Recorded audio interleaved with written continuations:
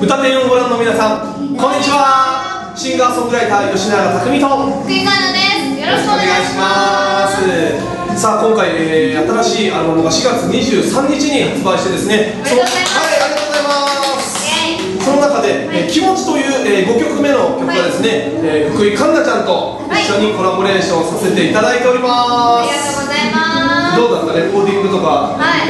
レコーディングも、でも3時間ぐらいかかると思いきやうん40分ぐらいで終わったんで。いやそうなんですよね。めっちゃ早かったんですよ。おなんか覚えるのがねものすごい早くって。そう覚えるのが早いんですけど忘れるのが早くて。